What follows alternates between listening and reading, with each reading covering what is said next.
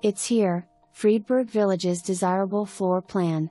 The popular Essex has an open floor plan with a split bedroom design. Huge GR West slash cathedral ceilings, skylights, and double French doors to the partially covered patio with a ceiling fan.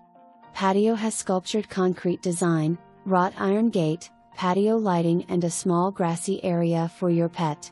GR is open to the dining room, which leads to the kitchen that has under cabinet lighting and extended cabinets into the breakfast area that give you an abundance of storage space along with the pantry.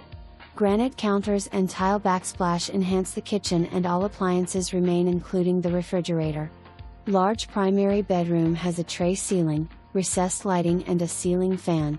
Primary bath has double sinks, separate shower, garden tub, linen closet and a 13 by 6 walk-in closet.